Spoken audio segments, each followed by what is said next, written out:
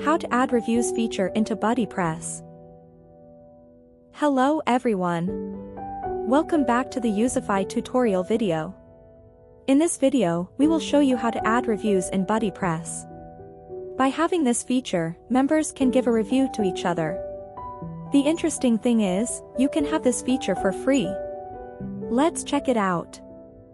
You need to install the Youzify plugin Lite version and activate them. This plugin is free.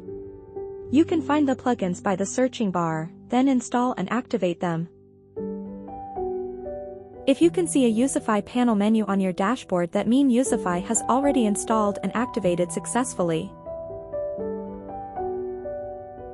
Once Youzify is active, please go to Youzify panel, Profile Settings, and Reviews Settings menu.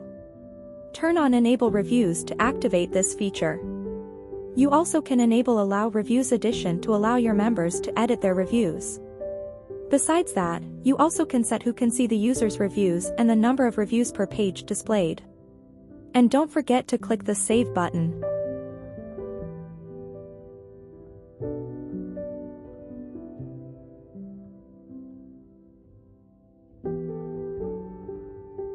And now every member can add reviews and stars to other members.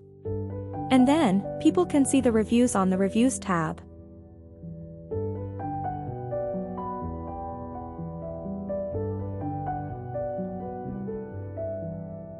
Thank you for watching. And see you in the next video.